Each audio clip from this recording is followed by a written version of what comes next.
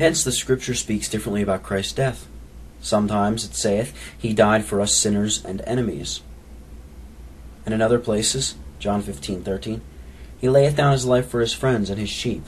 John 17:19, He saith, He praiseth, He prayeth, excuse me, and sanctifieth himself for those that shall believe in him. That is, in a consequent sense, for those who by faith shall lay hold on his death. So that faith hath a twofold condition. The first of the time when sins are taken away by Christ's death, and that is when they believe. Secondly, of whom these privileges are true, and that is of such who do believe. Now all this may be the further cleared if we consider what kind of cause Christ's death is to take away our sins. It is a meritorious cause, which is in the rank of moral causes, of which the rule is not true.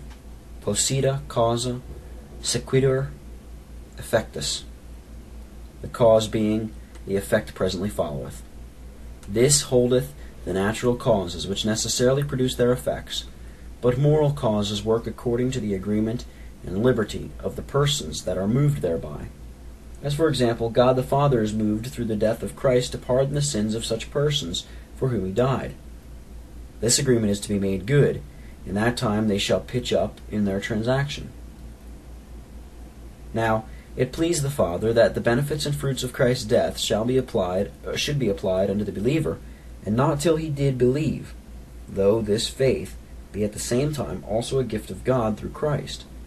It is good, therefore, when we either call election absolute or say Christ died absolutely, to consider that absolute may be taken as opposite to a prerequisite condition, which is to be fulfilled by us, so that upon this election and the fruits of Christ's death shall depend. Or else absolute may be taken as it opposeth any means or order which God hath appointed, as the way to obtain the end, and in this latter sense it would be a grand absurdity to say election is absolute or Christ died absolutely. For if this were so, the profane argument about election would have truth in it. If I be elected, let me live never so wickedly, I shall be saved. And the Arminian argument that every one were bound to believe that Christ died for him, though wicked and abiding so, would not well be avoided. His last argument is from the unchangeableness of God's love. If we are not justified in his sight before we believe, then God did once hate us and afterwards love us. And this be so, and if this be so, excuse me, why should Arminians be blamed for saying we may be the children of God today and the children of the devil tomorrow? Hence he concludes it as undoubted that God that God loved us first before we believe, even when we were in our blood. In answering of this argument, several things are considerable. First, it must be readily granted that God is unchangeable, James 1 verse 7. God is there compared to the sun, and is therefore called the Father of lights, but yet is preferred before it, because that hath clouds sometimes cast over it, and sometimes is in eclipse. But there is no change or shadow of change with him. The heathens have confessed this, and so argued if God should change, it would be either for better or worse. For worse, how could it be imagined? For better, then God were not absolutely perfect. Most accursed, therefore, must Vorstius his blasphemy be, who purposely pleads for mutability in God. But secondly, as this is easily to be confessed, so the difficulty of those arguments brought from the things which God doth in time, and not from all eternity, have been very weighty upon some men's shoulders, insomuch that they thought this the only way to salve all by saying that all things were from eternity. And certainly by the antinomian arguments we may as well plead for the creation of all things from eternity, as that we are justified from all eternity. For all are equally built upon this sandy foundation, that because the things are done in time, therefore there must be some new act or will or love in God, which would imply God is mutable, not loving today and loving tomorrow. Therefore, to avoid this, they say all is from eternity. Origen, who was called by an ancient writer Centaure, because of his monstrous opinions, argued thus Lib 1 de Spiadscone, Cap 2. As there cannot be a father without a son, or a master and lord without a possession, so neither an omnip- so neither an omnipotent, excuse me, unless there be those things about which this power may be exercised. Now, although it be true that de Deo etiam vera dicere periculosum est, because of the weakness of our understandings to perceive his infinite luster. Yet, thirdly, it is well cleared by the schoolmen that those relations which are attributed to God in time as a creator, father, or lord, are not because of any new thing in God, but in respect of the creatures, so that when the world is created, when a man is justified, we say God was not a creator. God, who was not a creator before, is a creator. Who was not a father by grace, is now by grace. Not because any new accident is in him, but because there is a new effect in the creatures.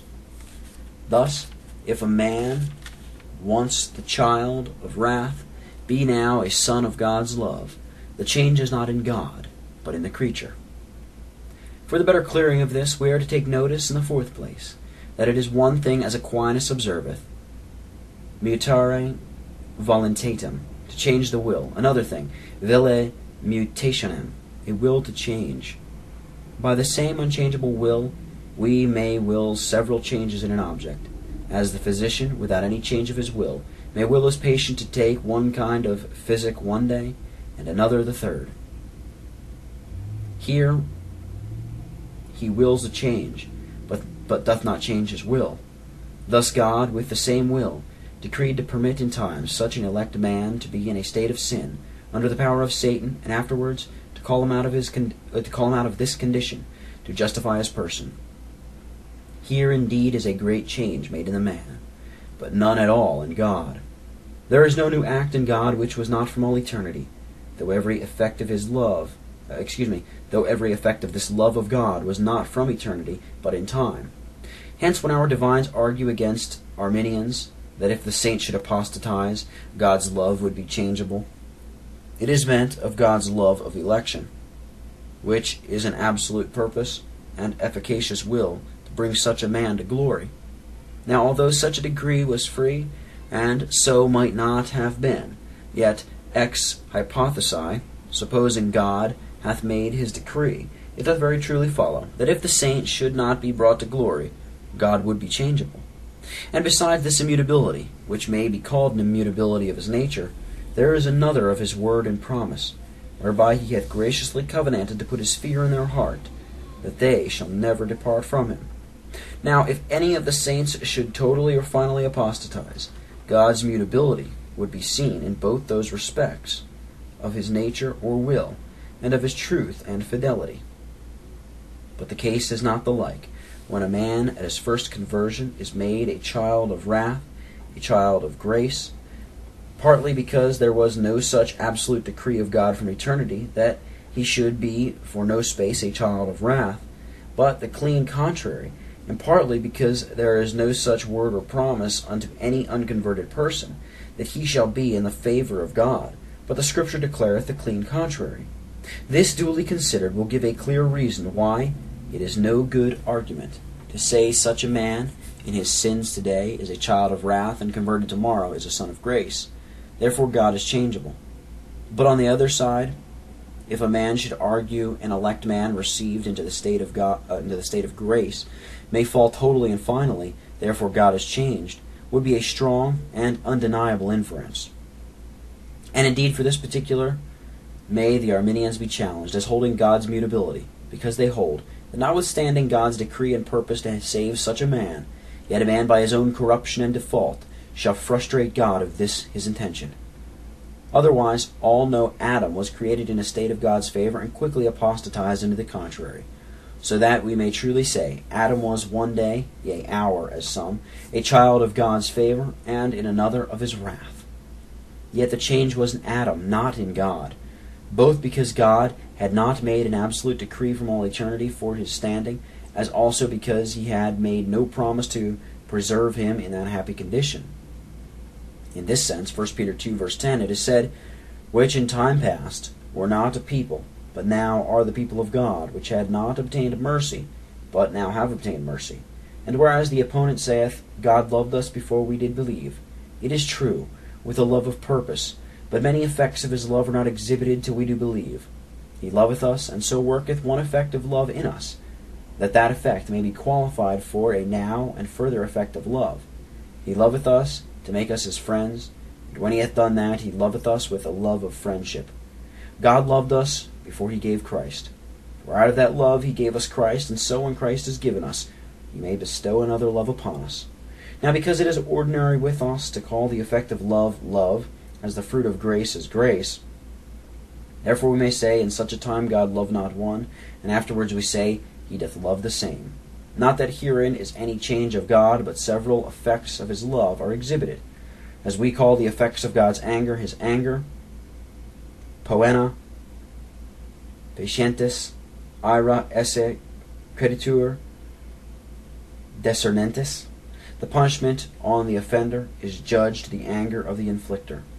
And by this means we may say, uh, excuse me, we say sometimes God is angry, and afterwards he ceaseth to be angry, when he removeth these effects of his anger. So a man is said to be loved or not to be loved, according to the effects of God's love exhibited in time, and God hath so appointed it, that one effect of his love should be a qualification in the subject for another, as sanctification for glorification.